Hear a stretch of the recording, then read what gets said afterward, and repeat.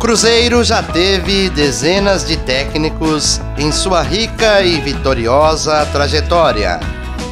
Treinadores que, entre outros títulos, ganharam o Campeonato Mineiro, a Copa do Brasil, o Brasileirão e até mesmo a Copa Libertadores.